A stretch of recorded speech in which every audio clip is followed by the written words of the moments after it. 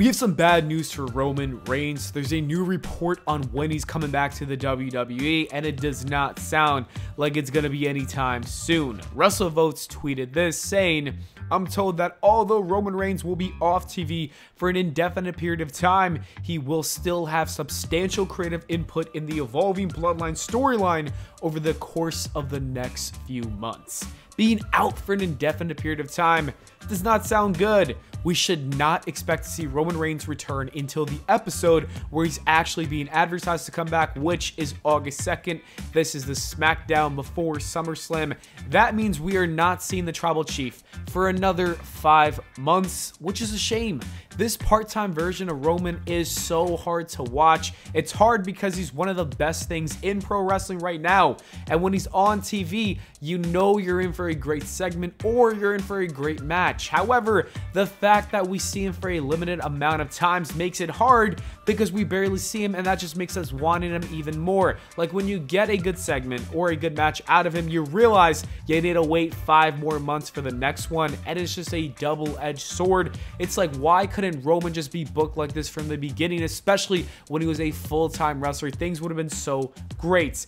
Anyways, with that being said, there was this picture of Roman Reigns that came out showing that he's doing some work in Hollywood. Could this mean that he's making the transition out of the WWE and into Hollywood, joining the likes of John Cena, Batista, and The Rock? Probably not, but it is interesting to see him take on new projects. Hopefully, it works out for him. The one good thing about that WrestleVotes report is that he's going to be working on the creative side of the Bloodline storyline. As we saw in the last SmackDown, that story is red hot. Roman Reigns and Paul Heyman have been working on the creative for some time now, and I know those two will continue to cook. Speaking of the Bloodline storyline, it looks like the next chapter is Roman Reigns turning babyface and reuniting with the Usos. Jey was recently on the bump and he said that he would like to see that with them being the good guys this time around. So he does want to see a reunion between him, Roman, and Jimmy. And I could see it happening. Rikishi also said that he thinks The Rock is going to turn on Roman, which will make Reigns the babyface. And I can't wait to see how that plays out. That's what a lot of people are expecting and it should be really good. But we probably have to wait another year or two just to see that happen. Anyway, speaking of Roman Reigns, it was reported that he was actually planned to lose the belt in 2023 at WrestleMania 39. The Wrestling Observer newsletter reported this. The original plan at last year's WrestleMania was for Cody Rhodes to defeat Roman Reigns. Both Vince McMahon and Paul Levesque were on board with the return from pec surgery and the title win.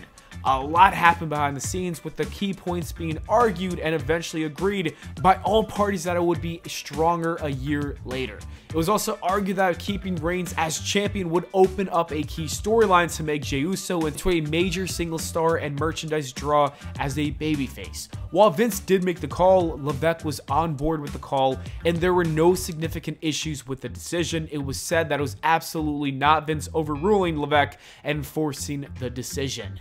This was a good decision. Many people were unhappy with the decision at the time last year. I remember everybody panicking and freaking out about it, but I think it's safe to say that this was the right call. This year's WrestleMania main event is legitimately one of my favorite endings, if not my favorite ending in any wrestling match of all time. You cannot tell me that Cody losing last year was not worth this moment. We saw John Cena, we saw The Rock, we saw The Shield, Seth Rollins, and The Undertaker all come back to participate in this match.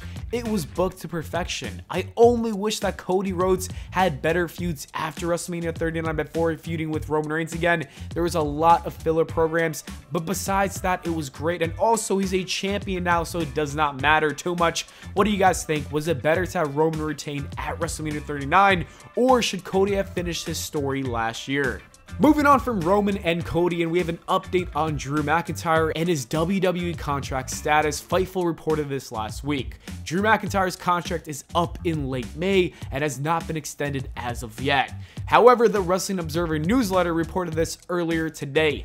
Those in WWE expect Drew McIntyre to re-sign with WWE, seen as enough of a given as he's being advertised on shows past contract expiration. The feeling was that while he had talked of taking time off, if not creatively fulfilled, that he very much is now and is seen as one of the company's top full-time wrestlers with Cody Rhodes and Seth Rollins. There is also a belief that WWE talent is less likely now to opt for AEW. Even before reading this report, I had a strong feeling that he was going to re-sign with the WWE, and that's because Drew McIntyre does indeed feel like a top five star in the company right now. His ongoing feud with CM Punk is probably the best thing going on in wrestling right now, and Punk isn't even cleared to wrestle. On top of that, he's also going to be the world champion very soon. It is obvious that the WWE is going to give him that belt back sometime in the near future. Being the world champion and being a top star is more than enough reasons to stay with the WWE. I'm also sure that they're going to pay him even more money than before because he has a new star power to him. I can't see him leaving for AEW. If anything, I would see him taking a short break to spend time with family before signing a new contract and coming back and feuding with CM Punk and then going on to become the world's heavyweight champion. WrestleMania has taken place in March or April for a long time now, and that tradition might be coming to an end. As reported by Fightful, there has been some discussion about possibly holding WrestleMania in May next year, including many other options. This comes after Nick Khan also said this about WrestleMania 40 and the cold weather that the fans experience. Going on in April at an outdoor stadium on the East Coast, assume you're not going to see that again. Going up against the Final Four Saturday night games, assume you're not going to see that again. Not only is it about the weather, but the WWE wants even more reviews, and it's also about avoiding the Final Four Saturday night games, and I like this decision. Some people are against it, but I'm not. WrestleMania in New York on a nice day in May sounds like the vibe, because I was at WrestleMania 35 and it was brick and I was freezing. I was not happy about the weather at all, and I know while change can be scary, I think this is a great idea, and Nick Khan is all about making the best decisions for the WWE. This seems like one of them. The only weird thing is that WrestleMania and SummerSlam would be a little bit closer to each other, but at the end of the day, I'll still choose nice weather because weather is very important. And honestly, the cold just kills the crowd. And finally, there's a new report on Chad Gable and his future after turning heel on Sami Zayn in Montreal.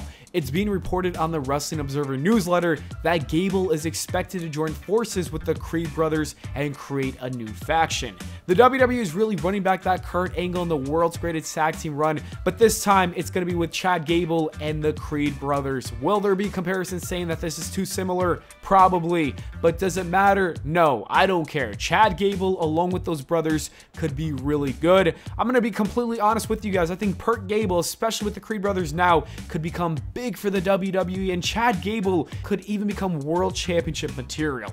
And just think about a feud between Chad Gable and Cody Rhodes that would cook. The Creed brothers also get so much more credibility joining Gable, and they could even win the tag team championship soon.